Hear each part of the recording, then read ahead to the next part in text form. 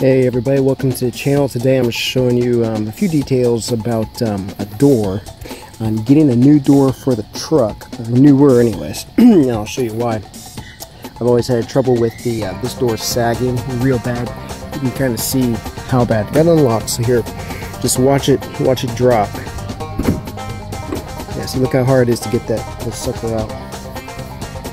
Look how bad the uh, striker is and then it's closing so bad here.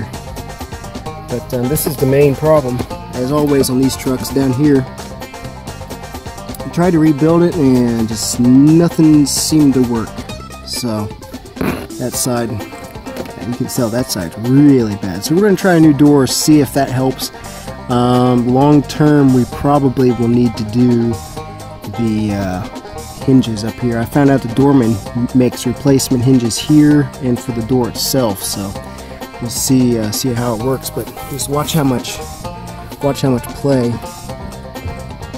I mean, it's just crazy how much uh, play there is in this door. So that's the story. Now I'll show you the new one I've got.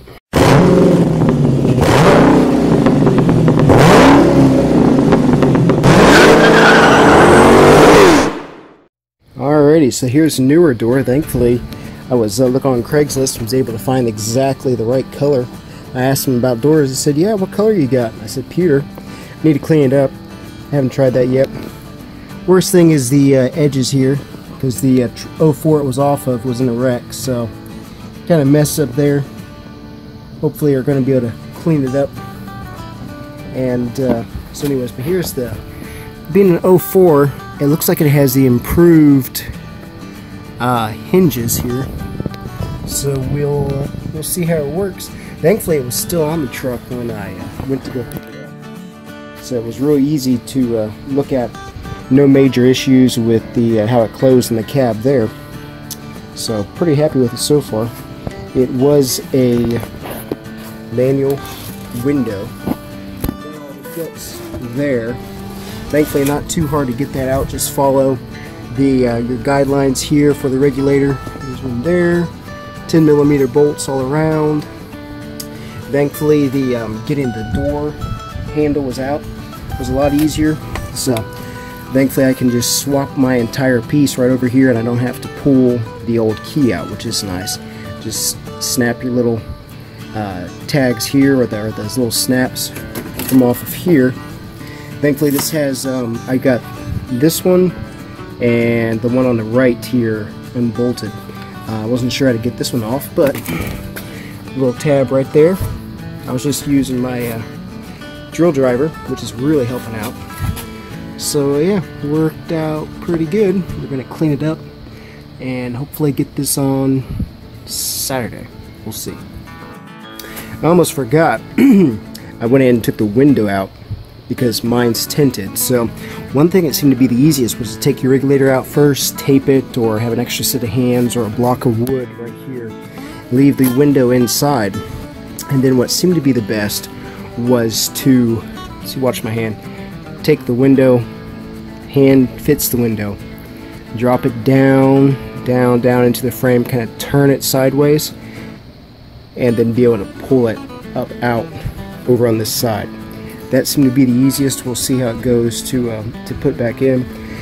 This truck had the power locks, and that wire comes in right here and travels along here. There's a tab there along this side, and then there's a plug. All right, sorry about the camera tumble. So the uh, the wire for the power locks travels here. I'll have extra wires too going up, obviously for the power windows, etc. And for the speaker, I'm to have to cut this out a little bit bigger because my truck was modded with a 6x9 speaker, so that could be interesting getting that to fit.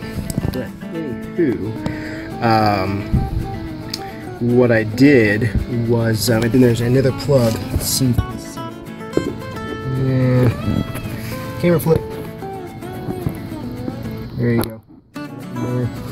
There's a power plug in here. I'm to try to avoid messing with that, but we'll um, see what needs to be done. It may be easier just to, uh, to switch that out, we'll see. But anyways, some tricks on how to do this. Now I'm going to clean it up, I hope. It's nasty. of course, we'll be using Super Clean. Alrighty everybody, so it's Saturday. Yesterday we had pictures of the door up, so here it is on the truck. See the color's a good bit off, so not real dreadful, but bad enough. But anyways, it uh, definitely sits a much better. I ran into an issue a little bit with the uh, fitment. You can see there's a few little issues where it's uh, uh, seems to be out just a smidge along here, a little bit high up here. And it looks like along the side here might have been dented in a little bit. Fitment here seems to be about right. And then down in these areas it looks right. So I don't know if it's um, you know door or uh, or what it is, but uh, thankfully it seems open pretty good. What we've got an issue with is the um, another video here a few adjustments on the striker here. Uh, ended up drilling out the um, these just a little bit to drop um, the latch system here, but overall the uh, swap went real easy. Uh, just took everything out, even got my visor uh, back on, but uh, worked good. We took the uh, window out, put it back into here. Everything just went really smooth. So. The, the truck side of the hinges seem to be in good shape, so that's good. We got the new um, uh, kits on there, the pin kits. So that seems to be good.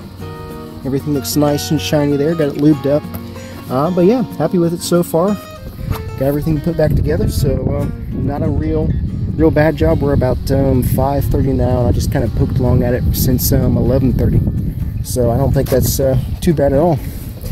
I've still got an issue where um, still is that uh, when you turn, when you have the ignition on, I will turn it on here.